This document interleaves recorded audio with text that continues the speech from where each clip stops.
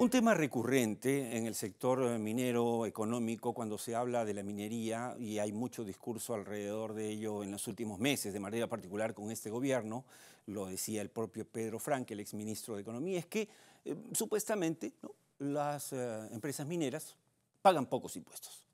Esto, aunque parece que el informe del Fondo Monetario lo desmiente, sin embargo, le pedimos al Instituto Peruano de Economía, al IPE, que nos pudiese eh, preparar algunos cuadros para explicarle a los televidentes de Tierra Adentro cuál es la verdad sobre este tema. ¿Mineras pagan pocos impuestos? Y vamos a ver la primera lámina. Eh, ¿Cuáles son las cargas específicas, no es cierto, de las mineras? Como ven ahí, aparte del impuesto a la renta, este, desde el 2011 las mineras tienen que pagar nuevas cargas tributarias, gravamen especial de minería, regalías mineras y el impuesto general especial a la minería. Justamente por ello en el 2021 el Estado recaudó sumando el impuesto a la renta y todas las demás cargas, ojo, 25 mil millones de soles directamente de la actividad minera. O sea, más del doble eh, de lo que anualmente eh, se recauda en promedio, o sea, se había recaudado entre el periodo 2011 y 2020. ¿Se dan cuenta cómo se incrementa? Ok.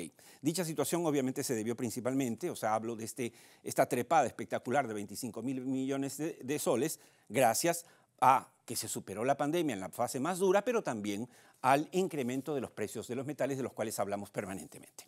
En la siguiente lámina hablamos de la carga fiscal minera. Además del impuesto a la renta, a la minería se le aplican cargas específicas en forma de impuestos especiales y regalías, que son los que vemos ahí. Esto no lo he inventado yo, no es una idea loca de Oscar Díaz, de, la producción del programa, que quiere manipular y lavarle el cerebro a la gente. No, no, no, no. Todo esto ustedes lo pueden comprobar, entren al peruano, accedan a la información pública y ahí está. La carga fiscal, por lo tanto, minera en el Perú supera a las de otros países mineros como Canadá, México, Australia y Chile. La siguiente lámina nos habla de una realidad. La minería es la que pone el dinero acá. Dejémonos de cosas, es así. Ah, alguien me decía, oye, pero quizá no debas decir mucho, poner mucho énfasis sobre que la minería, pero ¿qué, digo? ¿Que la minería no produce beneficios para el Perú? ¿Que la minería debería ser desaparecida del Perú? Por favor, estos son datos. Y aquí está, eh, en específico, la minería contribuyó con casi la mitad, 44% del crecimiento de los ingresos corrientes del Estado entre el 2019 y 2021. O sea, en estos años pésimos, malos, donde todo se cae, la pobre industria hotelera se fue al tacho, tenemos que este sector se va hacia arriba y con ello le paga más dinero al Estado y con ello genera más empleo. El Perú ha sido una de las economías, además de la región, donde más se han incrementado los ingresos fiscales provenientes de los recursos naturales. O sea, no es que han caído, han subido. Tenemos la última lámina, si no me equivoco, de recaudación histórica. Miren ustedes, en 2021 el Estado peruano recaudó solo en impuesto a la renta minero 19.523 millones de soles, mientras que en los años 19 y 20 fueron 4.000 millones. O sea, ¿hay algo más que explicar sobre eso?